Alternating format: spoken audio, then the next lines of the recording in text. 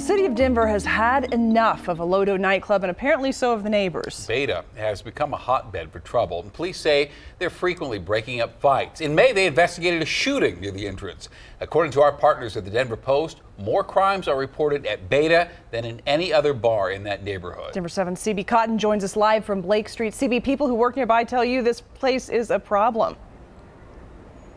Jacqueline and Shannon, they do, and many of them, to be honest with you, are very afraid to talk about it. Beta Nightclub, they open for this week tomorrow at 9, and employees here on Blake Street say every time those doors are open, there's chaos. But the owner of the nightclub says any ruckus is not related to his business. During the daytime, it's mostly quiet on Blake Street. But come nighttime, the patios and sidewalks fill with people, and that's when the problems begin. It's very hectic at the end of the night. There's a lot of police presence. Um, and it is kind of scary to see that happening because you never know what can happen. This employee of a Blake Street business agreed to speak with us on the condition we not share his name or show his face. He says he and others are scared of what might happen if they speak out about Beta Nightclub. It does seem like on a regular basis, especially weekly basis, um, on the weekends, Fridays, Saturdays, that there is a lot of commotion at the end of the night coming out of there.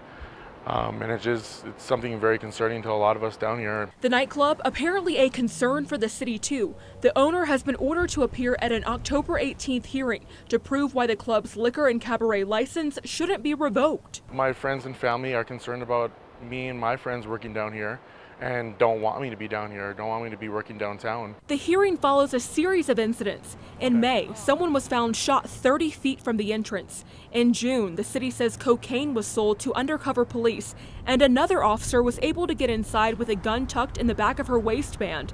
There are also allegations of fights between rival gang members. I have friends that work over here that, you know, definitely are afraid sometimes to like even go outside after their shift because you never know what's going to happen where there's a stray bullet, uh, a fight that you get involved in, and you never know what could happen to you. The attorney for Beta Nightclub's owner sent Denver 7 this statement saying, in part, that the club's security services contract with Denver police recently expired, and the club's attempts to contact police to share strategies and solutions have gone unanswered.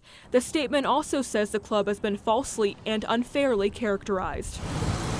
But employees here say the allegations are true. This block has definitely has have it starting to get a new reputation, which is not good for other business owners around here because um, it does hurt our business. We've noticed a significant decline in sales on this block compared to other blocks and other bars and you know it's just it's a scary time to be down in this area.